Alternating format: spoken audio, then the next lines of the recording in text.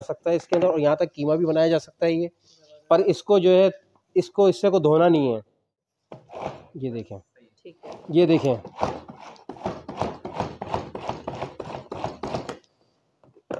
ये देखिए। अगर और बारीक करना है तो और एक दो दफ़ा आप चलाएँ और बारीक हो जाएगा ये ये देख लीजिए।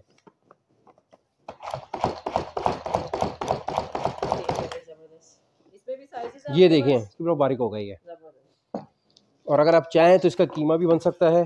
कीमा भी निकाल सकते हैं हम लोग। ये गोश है इधर। ये देखिए।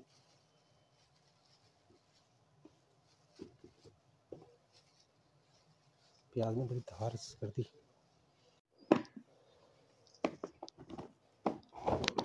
ये देखिए।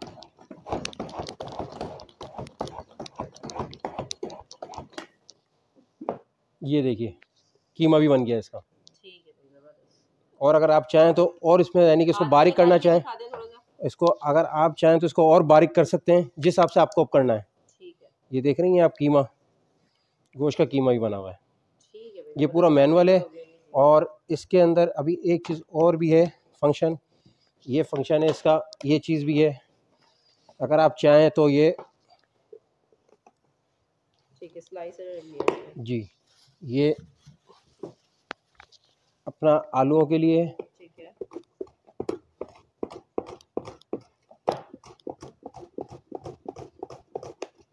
ये देखिए आप। ये देखें आप।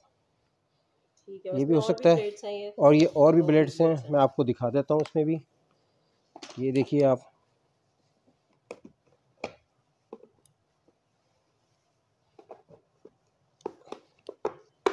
ये गाजर है। गाजर का अगर बनाना चाहें जैसे हलवा बनाते हैं लोग घर में तो ये उसके लिए है ये। ये देखिए आप। इसकी कटिंग देख लें। माशाल्लाह से आपके सामने है। ये देख लीजिए। जी। वरना मैनुअल चॉपर्स की अक्सर होती मैनुअल की नहीं होती है पर ये माशाल्लाह से बहुत अच्छा है और इसकी कीमत जो है बहुत सस्ती है। ये पड़ेगा आपको तेरह सौ रुपये का। जी। पर इसमें ये मैनुअल के अंदर जो है ना ये एक ही साइज़ है। तेरह सौ रुपये का है। और ये इसके साथ दही फेंटनी है। अभी दही मेरे पास मौजूद नहीं है, मैं आपको वो भी दिखा देता हूँ। तो बाकी इसके अंदर एक छोटा साइज़ है और एक एक साइज़ है जिसके अंदर सिर्फ़ जो है ना ये चॉपर है खाली। दही फेंटनी नहीं है और मैनुअल फ़ंक्शन नहीं है इसके अंदर। सिर्फ़ ये चॉपर है। ये तेरह सौ रुपये का है। जी हाँ ये तेरह सौ रुपये का जो मैंने आपको दिखाया मल्टी फ़ंक्शन ये पड़ेगा आपको ग्यारह सौ रुपये का, ये नौ सौ रुपये का है। ये छोटा साइज़ है, ये बड़ा साइज़ है।